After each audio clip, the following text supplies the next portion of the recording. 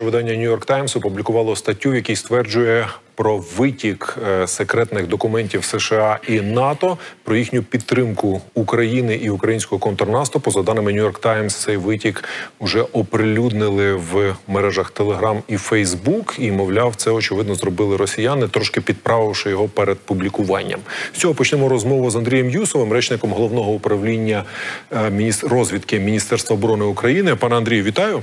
Вітаю вас. Е, Цей витік уже обговорюють і будуть іще обговорювати. Хочеться зрозуміти, наскільки це серйозно за вашими оцінками як речника розвідки головного управління. Насамперед, ми почули про те, що, е, начебто, він був і дуже важливого, авторитетного, е, відомого. Але я думаю, що оскільки є інформація, що Пентагон проводить розслідування, то ми повинні від е, Пентагону почути інформацію про це розслідування. Дуже важливо пам'ятати, що останнім часом, останні десятиліття, найбільш успішні спецоперації російських спецслужб проходять власне в фотошопі. І із попереднього аналізу, який ми побачили цих матеріалів, ми бачимо там брехливі, брехливі викривлені цифри по втратах е, з обох сторін. Е, Ми бачимо частину інформації е, явно зібраної там осінт засобами, тобто з відкритих джерел. Якщо говорити про потреби української армії, то це тематика, яка багато і змістовно обговорювалась на всіх рівнях, в тому числі офіційними особами і речниками держави України і сектора безпеки і оборони. Ні для кого не є секретом, що е, Україна ставила питання і ставить питання і про авіацію, е, і про танки, про е, боєприпаси і багато інших речей, які так нам потрібні для е, швидшого звільнення українських територій окупованих, для збереження е, життів українських е, солдат і мирного населення. Е, Все інше ми будемо чекати, звичайно, офіційних коментарів, але я думаю, що українському суспільству е, переживати стосовно цього е, точно підстав немає. Контрнаступ буде, і головні плани е, справді ворог побачить і відчує на собі на полі бою.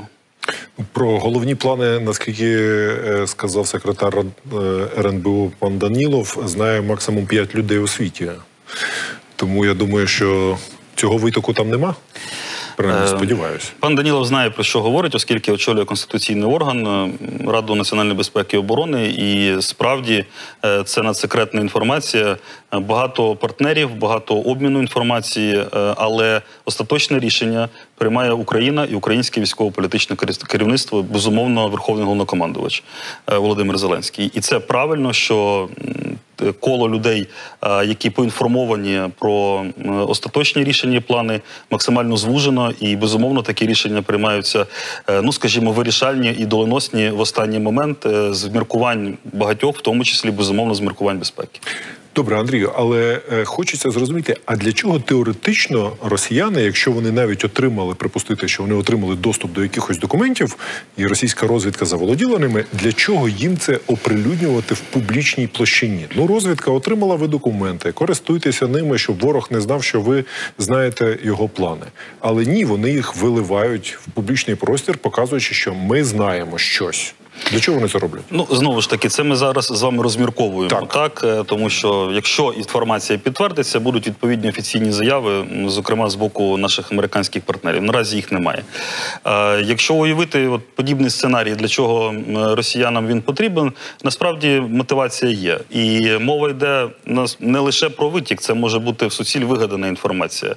Е, сьогодні використовуються всі засоби і інструменти для того, щоб уповільнити або зірвати український контрнаступ і звільнення е, українських територій, для того, щоб уповільнити або зірвати е, допомогу е, міжнародної проукраїнської коаліції для українських сил безпеки і оборони. І звичайно, Росія залишається потужним гравцем із е, чималим фінансовим ресурсом, який може застосовувати і проводити різноманітні кампанії ІПСО, е, дуже дороговартісні часом.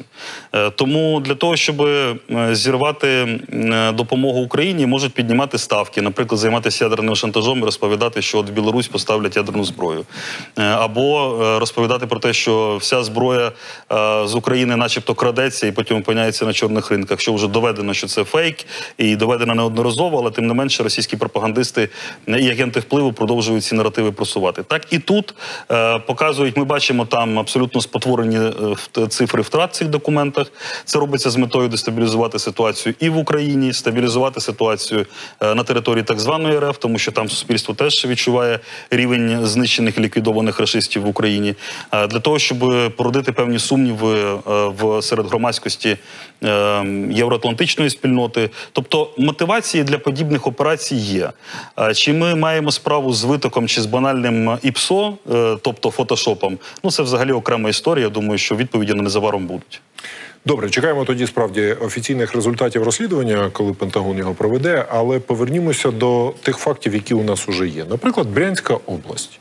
Е, Російська Федерація не дуже нею цікавиться. Ми якось виходить так більше цікавимося Брянською областю, тому що там навіть губернатор каже, що можна 9 травня може цього року і не святкувати, так щоб не злити е, українців, особливо там постійні рейди якихось російських добровольців. Що за вашими даними відбувається на Брянщині? Ну насамперед, е, я думаю, що Україна не цікавиться Брянською областю. Україна цікавиться від відновленням власної незалежності і суверенітету в межах кордонів 91-го року. Те, що відбувається на території так званої Російської Федерації, відповідальність е, влади е, і колективного Путіна.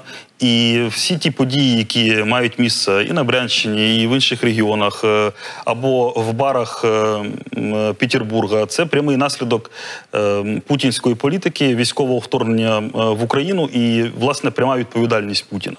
Е, Так, е, ситуація на самій Росії стає все більш напруженою.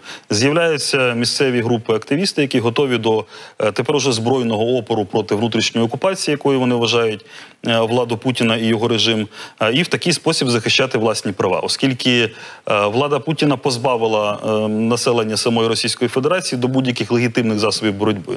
І на агенти, і тюрми, і замахи.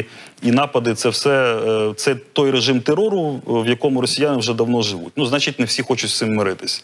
Е, Тому так, є, е, є е, цей аспект, є аспект е, поневолених народів і е, їхнього пробудження, усвідомлення того, що власне.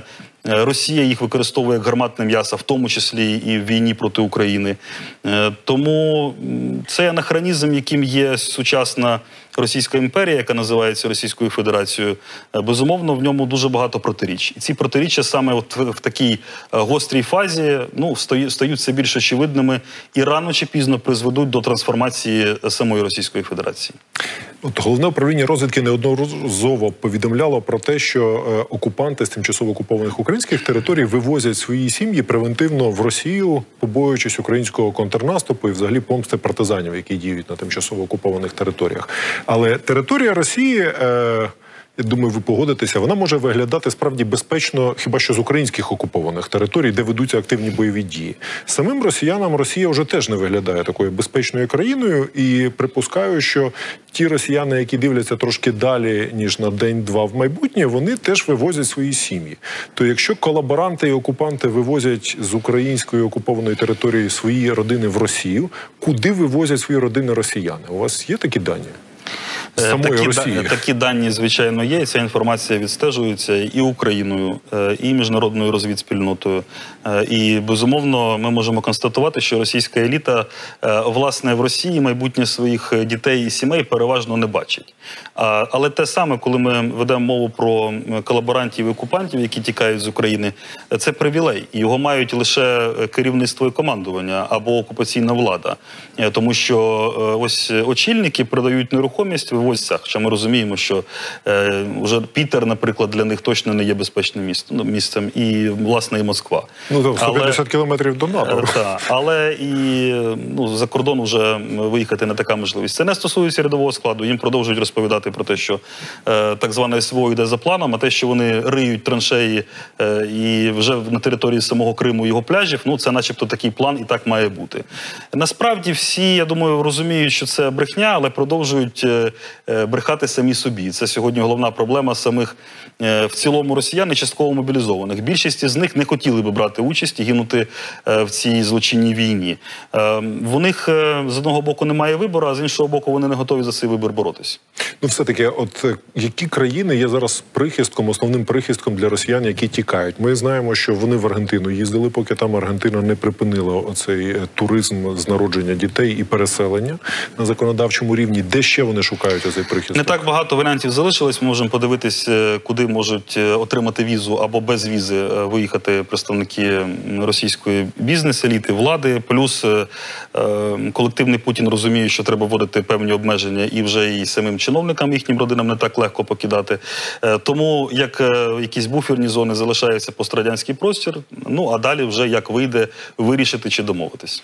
Пострадянський простір це в тому числі і Білорусь, але Білорусь тепер е, починає бути нашпигована ядерною зброєю. Білорусь меншою мірою, тому що власне потім з території самої Білорусі не так просто виїхати, виїхати чи вивезти свої сім'ї.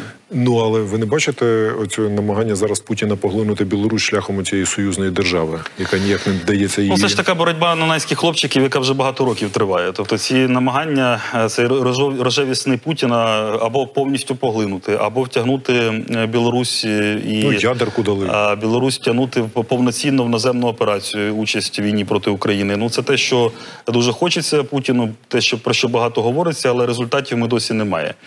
Не маємо. Е, Ядерку ще не дали. Я перепрошую. Про неї говорять. Це е, розмова, причому це була заява. Е, Не офіційна, не якогось державного органу чи під час якоїсь заяви, а під час інтерв'ю пропагандистському змі, тобто самому собі. І далі це предмет торга, це підвищення ставок по ядерному шантажу. Нічого нового в цій інформації ні для України, ні для світу не було. Е, Тому що, власне, е, сама Білорусь говорила про те, що бере на озброєння. Ракетні комплекси, які можуть бути носіями тактичного ядерного озброєння, готувалися відповідні зміни до конституції, які е, коригують без'ядерний статус. Ну і багато інших речей, які вказували на те, що це можливий сценарій. Якщо говорити про безпеку регіону, то тактична ядерна зброя там вже розміщена. Калінінградська область, е, е, власне, росіяни там вже присутні.